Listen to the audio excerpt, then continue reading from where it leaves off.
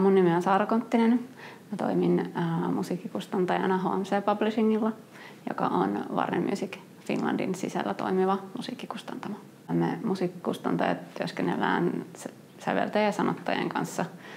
Pidetään huolta biisintekijöiden oikeuksista, hallinnoidaan heidän biisejä, rekisteröidään biisit, parrataan biisin teossa. Tehdään oikeastaan kaikkea sellaista, että biisintekijä voisi keskittyä pelkästään siihen biisin tekoon, eikä sen tarvitsisi huolehtia mistään muusta.